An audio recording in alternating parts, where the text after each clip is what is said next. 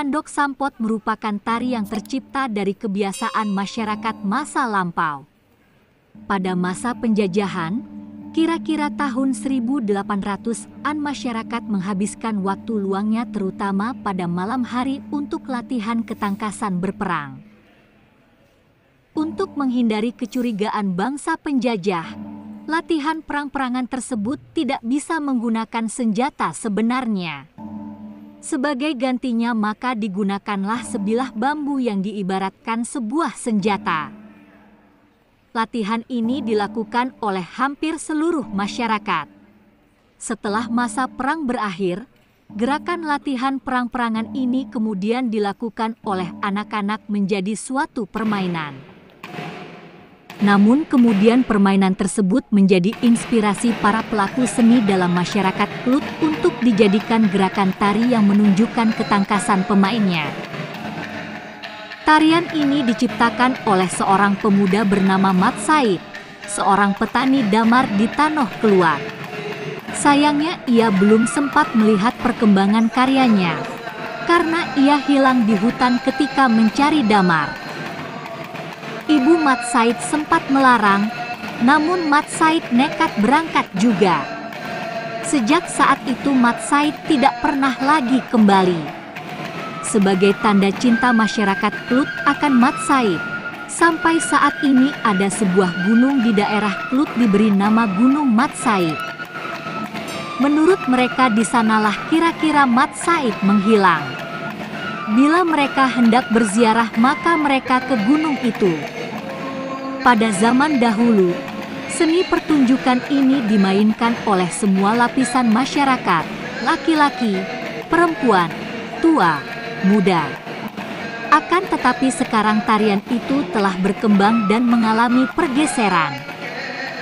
Sampai saat ini, landok sampot hanya dimainkan oleh laki-laki saja.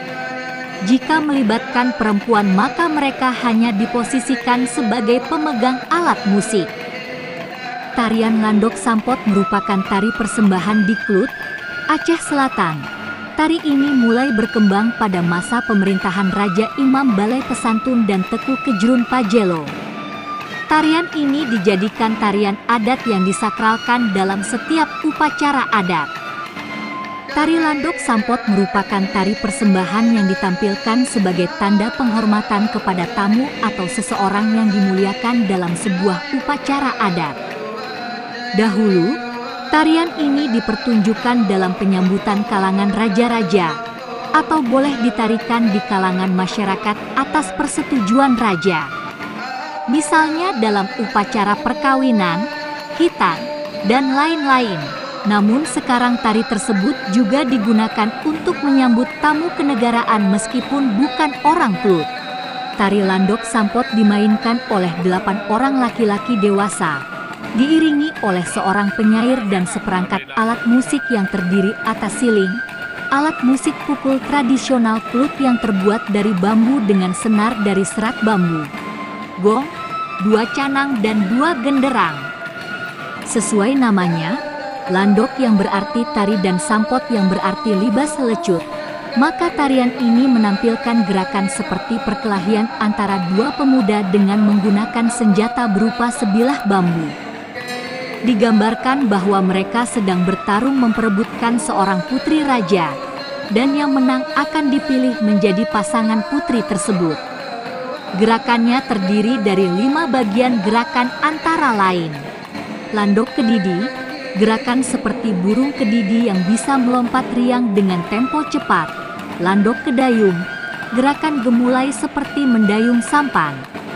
Landok sembar keluki, gerakan dasar seperti burung elang menyambar, gerak cepat, tangkas dan dinamis, landok sampot, gerak melecut dan memukul dengan menggunakan bambu seperti tangkai pancing tradisional. Dan landok pedang gerakan penari dengan menggunakan pedang yang menunjukkan ketangkasan dan kekebalan. Seperti halnya tarian khas dari Provinsi Aceh yang mengandung simbol syiar Islam, demikian juga yang terdapat pada Landok Sampot. Tarian ini juga diiringi syair-syair islami yang mengandung nilai dakwah. Ini berarti bahwa Landok Sampot juga membawa misi penyiaran agama Islam di tanah keluar. Dahulu, Landok Sampot dipertunjukkan tanpa syair dan alat musik. Namun kemudian para pendahulu merasa perlu mengiringi Landok Sampot dengan musik dan syair. Maka jadilah Landok Sampot seperti yang dapat kita nikmati sampai hari ini. Dalam perkembangannya, Landok Sampot juga dapat diiringi syair yang disesuaikan dengan jenis acara di mana Landok Sampot ditampilkan. Misalnya, ketika Landok Sampot dipertunjukkan dalam upacara pernikahan, maka syairnya akan bercerita tentang nasihat yang berhubungan dengan pernikahan. Jika dihadirkan pada acara tujuh belasan maka syair akan berisi kisah-kisah patriotisme dan membawa pesan persatuan. Jadi dapat disesuaikan dengan kebutuhan. Sumber Institut Seni Budaya Indonesia Aceh